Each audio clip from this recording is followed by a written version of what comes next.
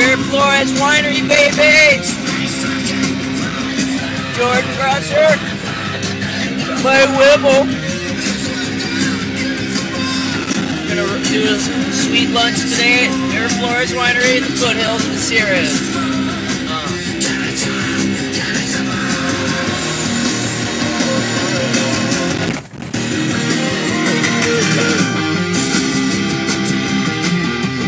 There's our office in the next two days. Not a bad gig.